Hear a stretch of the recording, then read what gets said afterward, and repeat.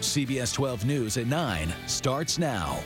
All right, well, empowering changemakers, the co-founder of the philanthropy tank and one of the finalists joins us next with how local students are making a big difference. Can't wait to hear, uh, wait to hear the big pitch from Alex over here. A local organization is empowering future changemakers right here in our area. We're talking about Philanthropy Tank.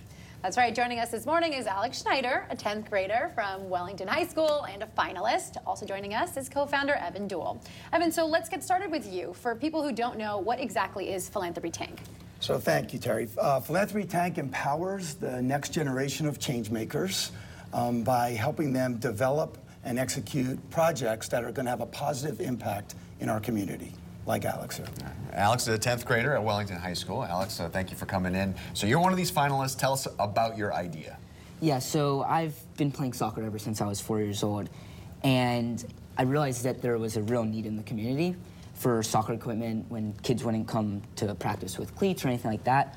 So around three years ago, I started collecting soccer balls and soccer cleats, and around and I've collected over 600 soccer balls and over 300 soccer cleats.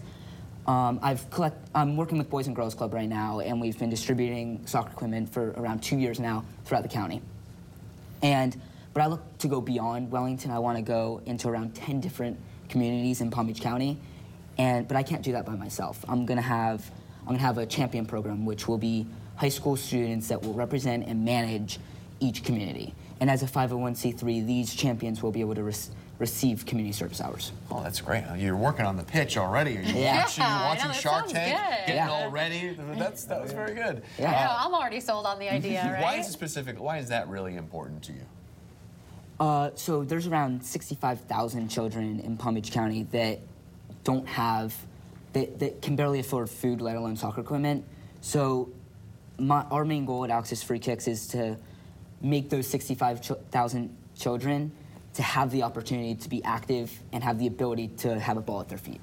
Alex's free kicks. Pretty cool. gotta Yeah, I love it. Uh, all right, Evan. So uh, let's talk about the event though, because this is something that everybody can go and be a part of. Absolutely. So our event is on March 10th at the Kravis Center at 3 p.m., 3 to 5 p.m.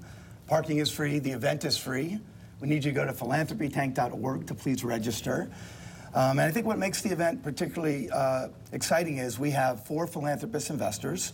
So we have Christine Stiller and Jim Karp, John Scarpa, and then first year for Larry Stern. Um, and not only will they choose and decide where they want to invest and which change makers they want to invest in, then they're going to mentor those winners for the next year plus, helping them execute their projects. That's so it's great. really exciting. This is so great. Tank. Very excited. It's on March 10th. Thank you guys so much, and Alex, good luck. Yeah. Yeah, good luck. Right.